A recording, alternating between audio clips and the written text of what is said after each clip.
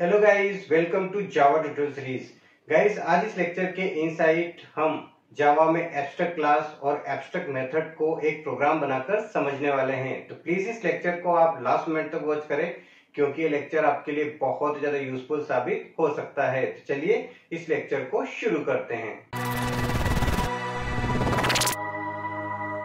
Abstract class को समझने के लिए आपको पहले एक नॉर्मल क्लास बनाकर समझाने की कोशिश करता हूँ। मैं यहाँ पर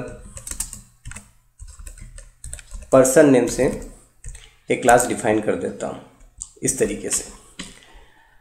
अब जावा का रूल ये कहता है कि आप किसी नॉर्मल क्लास में किसी मेथड को डिक्लेयर नहीं कर सकते। डिफाइन तो कर सकते हो, लेकिन डिक्लेयर नहीं कर सकते। लेकिन हम डिक्लेयर करना चाहते हैं, तब क्या होगा? मैं यहाँ पर शो नेम की मेथड बना रहा हूँ मैं इसे डिक्लेयर करना चाहता हूँ, तब क्या होगा? तो जावा का रूल कहता है कि नॉर्मल क्लास में आप नॉर्मल मेथड को डिक्लेयर नहीं कर सकते। तब क्या करें? तो आपको क्या करना पड़ेगा? अगर आप डिक्लेयर करना चाहते हो तो आपको इस क्लास को एब्स्ट्रैक्ट बनाना पड़ेगा। या फिर आपको इंटरफेस बनाना पड़ेगा। तो अभी हम एब्स्ट्रैक्ट क्लास का कॉन्सेप्ट सीख रहे हैं तो मैं इस क्लास को क्या बना रहा हूँ? एब्स्ट्रैक्ट क्लास बना रहा हूँ। जैसे ही मैं इस क्लास को एब्स्ट्रैक्ट क्लास बनाऊँगा तो फिर एरर थोड़ा चेंज हो जाएगा। वो ये कह रहा है कि आप डिक्लेयर तो कर सकते हो, लेकिन आप नॉर्मल मेथड डिक्लेयर नहीं कर सकते एब्स्ट्रैक्ट क्लास के इनसाइड आपको एब्स्ट्रैक्ट मेथड डिक्लेयर करना पड़ेगा। तो आप इस शो को एब्स्ट्रैक्ट बना दें। तो जब आप इस शो नेम की मेथड के आगे एब्स्ट्रैक्ट लिखते हैं तो ये शोनेम का मेथड एब्स्ट्रैक्ट मेथड हो गया। और इस क्लास के आगे आपने एब्स्ट्रैक्ट लिखा तो ये क्लास एब्स्ट्रैक्ट क्लास हो गया। तो डेफिनेशन किस तरीके से आप बना सकते हैं इसका? कि ऐसी क्लास जो एब्स्ट्रैक्ट मेथड को कंटेन करती है, वो एब्स्ट्रैक्ट क्लास है।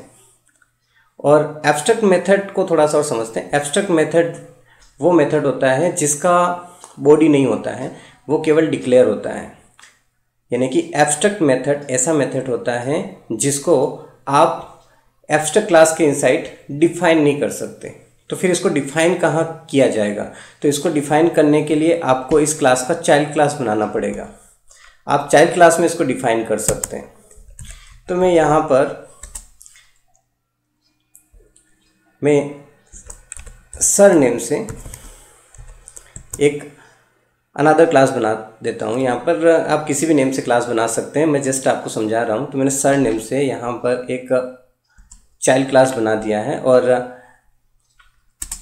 मैं पर्सन को इनहेरिट करना चाहता हूँ। तो मैं यहाँ पर एक्सटेंस कीवर्ड यूज़ करूँगा और मैंने यहाँ पर पर्सन को इनहेरिट कर दिया। तो देखिए सर जो है एक नॉर्मल क्लास है और यहाँ पर एरर शो हो रहा है। तो वो एरर ये कह रहा है कि जब किसी नॉर्मल क्लास में किसी एब्स्ट्रैक्ट क्लास को आप इनहेरिट करेंगे तो उसके इनसाइड जितने भी एब्स्ट्रैक्ट मेथड डिक्लेयर होंगे, इसके अलावा और भी मेथड्स अगर डिक्लेयर हैं और वो एब्स्ट्रैक्ट हैं तो उन सबको आपको यहाँ डिफाइन करना पड़ेगा।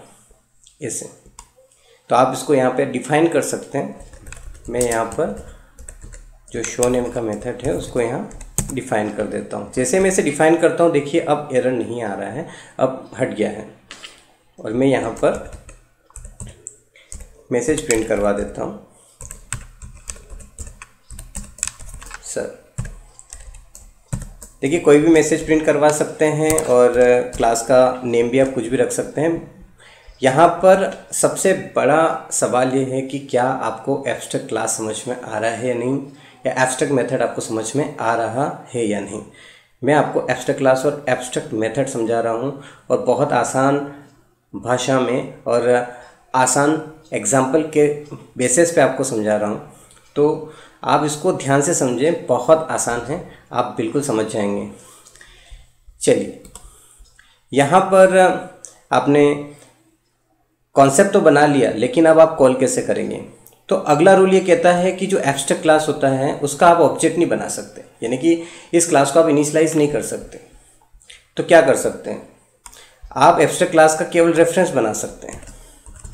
तो मैं यहाँ पर जो पर्सन नेम का क्लास है उसका रेफरेंस बना देता हूँ। रेफरेंस तो बना ही सकता हूँ। तो देखिए, मैंने यहाँ रेफरेंस बना दिया है। अब इसमें, अब इसके थ्रू मैं शो को कॉल कैसे करूँ? बिना ऑब्जेक्ट के तो आप रेफरेंस से कॉल नहीं कर पाएँगे। बिना ऑब्जेक्ट के कोई मेथड कॉल नहीं होता है। और रेफरेंस बनाने से जावा में कोई ऑब्जेक्ट नहीं बनता। ऑब्जेक्ट बनाने के लिए आपको न्यू कीवर्ड का यूज़ करना पड़ता है। तो फिर क्या करें?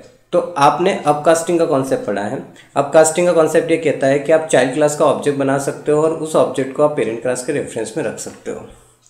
तो वही कॉन्सेप्ट हम यहाँ पे यूज़ कर रहे हैं। यानी कि मैं अपकास्टिंग का कॉन्सेप्ट यूज़ कर रहा हूँ। इस रेफरेंस में मैं चाइल्ड क्लास का ऑब्जेक्ट पास कर रहा हूँ। अब चाइल्ड क्लास मेरा किस नेम से है? सर नेम से तो मैं यहाँ पर सर नेम की क्लास का ऑब्जेक्ट बना देता हूँ और इसको मैं इस ऑब्जेक्ट में, इस रेफरेंस में पास कर देता हूँ। जैसे ही इस ऑब्जेक्ट को इस रेफरेंस में पास करूँगा तो अब इस पर्सन में ऑब्जेक्ट आ जाएगा। यानी कि पर्सन नेम की क्लास को क्या मिल जाएगा? ऑब्जेक्ट मिल जाएगा। और अब इस रेफरेंस से मैं कॉल कर सकता हूँ, उस क्लास के मेथड्स को। तो मैं यहाँ से शो को कॉल करता हूँ। जैसे ही मैं शो को कॉल करता हूँ तो आपको ओवर का कॉन्सेप्ट पता होगा कि कंपाइल टाइम पर फ्लो यहाँ जाता है, लेकिन रन टाइम पर ये जो शो है, ये इसको ओवरराइट कर देता है। तो आपका आउटपुट क्या मिलता है? सर तो इस तरीके से आप एब्स्ट्रैक्ट क्लास बना सकते हैं एब्स्ट्रैक्ट मेथड बना सकते हैं और उसको जावा में यूज़ कर सकते हैं। एब्स्ट्रैक्ट क्लास को आप यहाँ बेटर तरीके से समझ गए, लेकिन एब्स्ट्रैक्ट क्लास के कुछ और रूल भी है कि ये जो एब्स्ट्रैक्ट क्लास आपने बनाया है, इस क्लास के इनसाइड आप इसका कंस्ट्रक्टर भी बना सकते हैं। तो मैं यहाँ पर कंस्ट्रक्टर बना के आपको बता देता हूँ।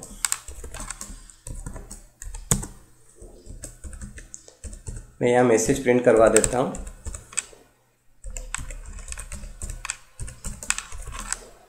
और मैसेज में मैंने पर्सन प्रिंट करवा दिया।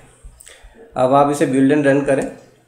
देखिए आपको आउटपुट मिल चुका है पर्सन तो इसका सीधा मतलब ये कि आप एक्स्ट्रा क्लास का कंस्ट्रक्टर बना सकते हैं। एक और रूल ये कहता है कि आप इस क्लास के इंसाइट किसी नॉर्मल मेथड को डिफाइन भी कर सकते हैं। एब्स्ट्रैक्ट मेथड को तो आप यहाँ डिफाइन नहीं कर रहे हैं बट नॉर्मल मेथड को आप डिफाइन कर सकते हैं। तो मैं अदर मेथड बना देता हूँ। मैं यहाँ पर प्रिंट डेटा नेम से एक मेथड डिफाइन कर देता हूँ और मैसेज प्रिंट करवा देते हैं। प्रिंट डेटा कोई भी मैसेज प्रिंट करवा सकते हो आप। मैं यहाँ पर प्रिंट डेटा मैसेज प्रिंट करवा रहा हूँ ओके और अब इस मेथड को कैसे कॉल करेंगे? अलग से कुछ नहीं करना है। इसी रेफरेंस से आप कॉल कर सकते हैं।